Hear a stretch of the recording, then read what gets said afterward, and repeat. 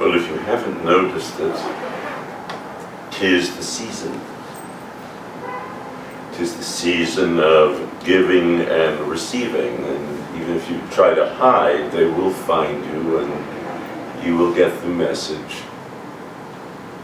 It is the season of giving and the season of receiving, both of which can present issues. In the Buddhist tradition, there is a major emphasis placed on generosity. Dana is the word in both Sanskrit and Pali. When people would come to the Buddha and ask to receive instruction in how to meditate, he would teach them first about generosity before teaching anything about meditation. And the reason for that was that he could see that attempting to meditate with a heart that was not open and caring about the needs of one's fellow beings would make meditation not only difficult, but it could make it quite unpleasant as well. So he began by teaching about dana, generosity. And we also see in a teaching called the Parami, which means perfections.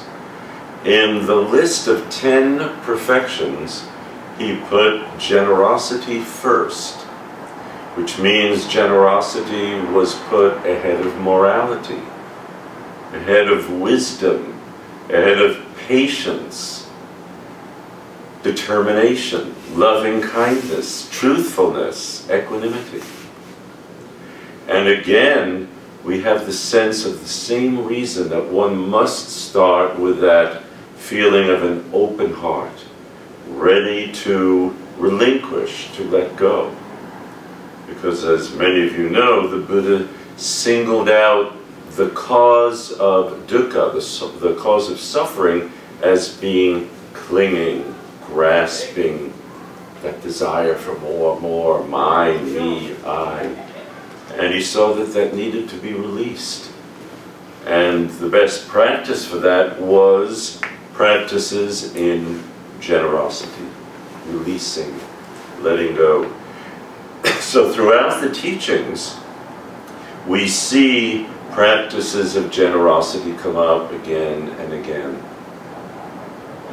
One that's significant is, in terms of giving, to give away related to the five basic precepts. The precepts that were offered for lay people, you and me. To give away any thought of doing any harm in the world to any creature. To give away any thought of taking anything that is not truly ours to give away participating in sexual misconduct, and to protect those who are vulnerable, specifically children, to give away harsh, unkind, untruthful speech, so that we speak truthfully and with words that are kind and uplifting, to give away the abuse of intoxicants so that the mind is clear and can see things as they really are, the ground of wisdom. And to that, the Buddha said, the highest gift is the gift of the Dharma. And in this case, Dharma meaning the teachings that relate to truth and reality the greatest gift is the gift of the Dharma. If one can and is qualified to actually teach the Dharma, one should do so.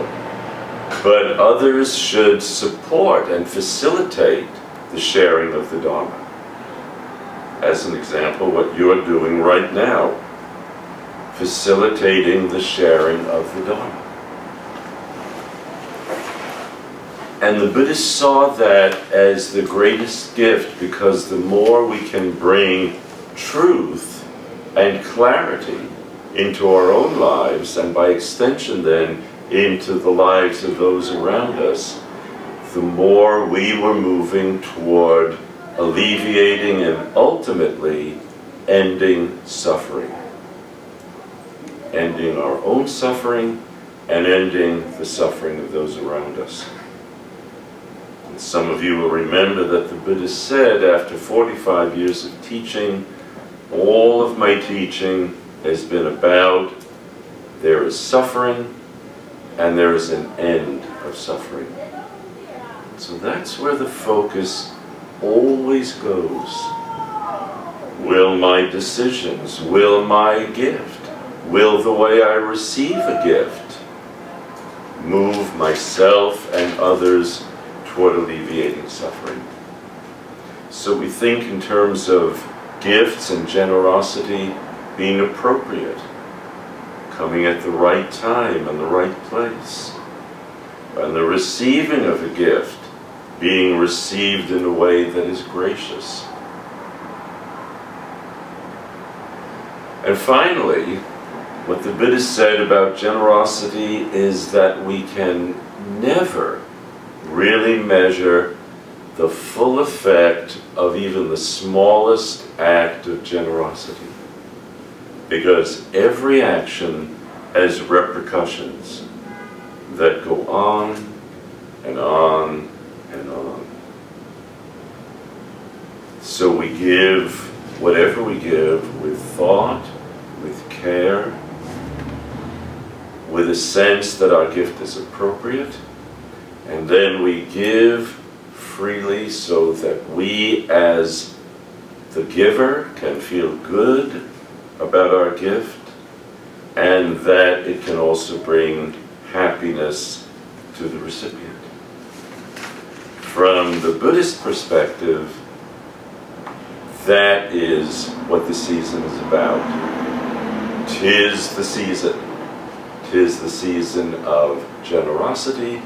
Tis the season of moving toward a sense of being awake and ending suffering for ourselves and for others.